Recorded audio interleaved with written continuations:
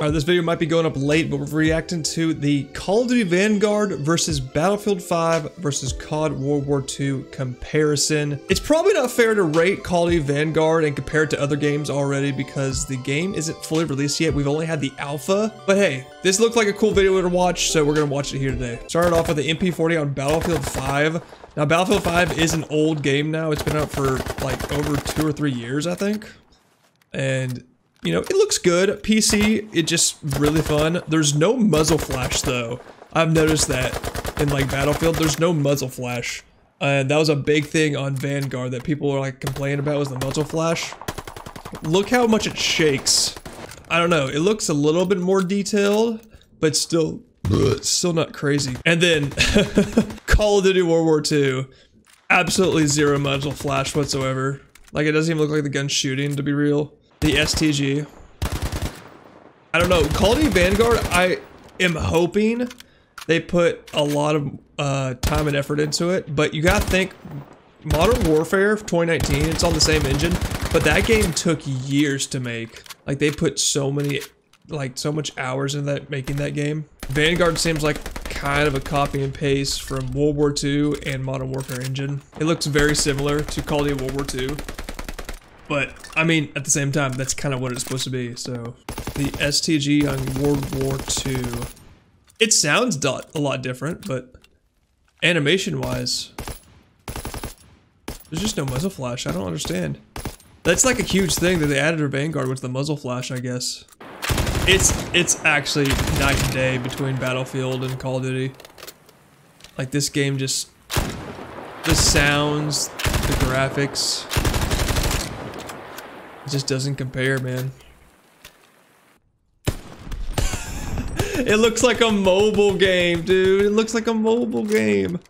Now, this is obviously on PlayStation. Once we get it on PC, it might look better, but golly. It doesn't look that great. it does not look that great, boys. Call of Duty's taking the L on this one, guys. Battlefield's always been like that though. Like Battlefield on PC will always be on top when it comes to realism and like sounds and stuff. They have just perfected it. Call of Duty's never been like that. Call of Duty's always been for like fast arcade shooters. Yeah, I mean, it's just a poor comparison. Modern Warfare 2019 was the first game that really brought the realism. Like they put so much time and effort into it. Modern Warfare 2019 was a super, super realistic and like uh, just cool game. How much uh, effort they put into it with the sounds and everything.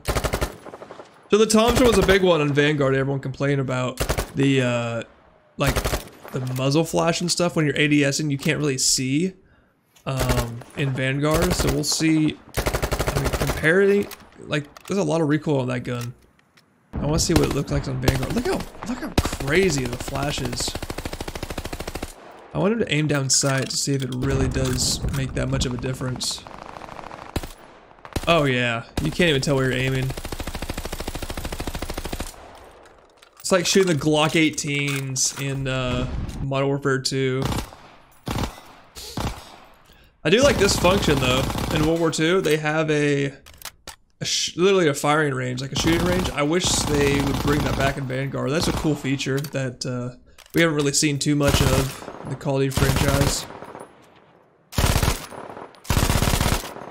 MG42. So in Battlefield, you have to mount that. You can't uh, aim aim down sight or anything. But obviously in Call of Duty, you have to. You can aim down what. Dude, that recoils. Does anyone use that gun? That recoil's trash. The heck?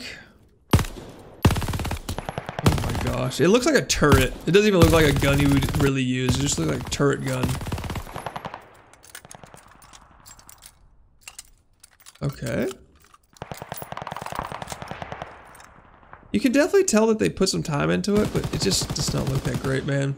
Graphically, it just not does not look that great. I think World War II and Battlefield 5 came out close to the same year which is really scary. I mean, Battlefield 5, I feel like it came out 2017, 2018. It's been out for a while. graphically compared to this game and Battlefield 5 is night and day. Although I will say, I don't know if this game is recorded on console as well. Obviously, PC Battlefield's gonna look better than anything else. Kar 98's so good, man.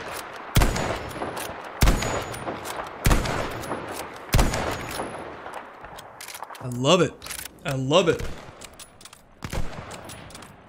That sounds exactly the same as World War II Kar.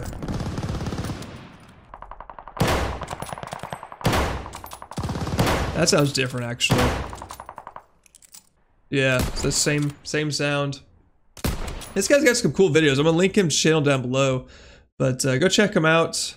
And uh, yeah, that's gonna be it, guys. That was a comparison. Vanguard, Battlefield 5, World War II. Obviously, Battlefield 5. It is recorded on PC. It looks better. It sounds better you can't ask much from Call of Duty. I mean, they they really don't put that much effort into this realism. It's just into the gameplay. But hope you guys enjoyed the video. I am Logz and I'm out. Deuces.